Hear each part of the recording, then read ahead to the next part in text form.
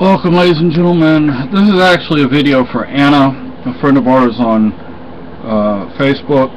As you liked when I, I said this is in the oven on my timeline and you liked it, thank you.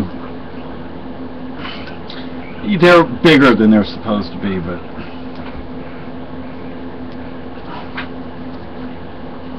these are uh, the bottom, the top chewy sugar cookies from all recipes.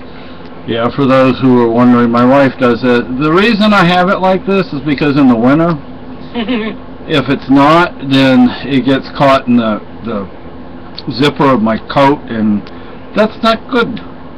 So, um, my wife does this for me, so uh, I can actually zip up my jacket. You don't need to try extracting him from the zipper. yeah. So. Uh, like getting a cat out of the zipper. so, oh my gosh, look at that sexy chest and that fat belly. No, Uh, but you're not fat. You're plump. there you go. That's the recipe. He's pleasingly plump. And I guess what? You know what I'll do? They're warm still, so they're good. They're good.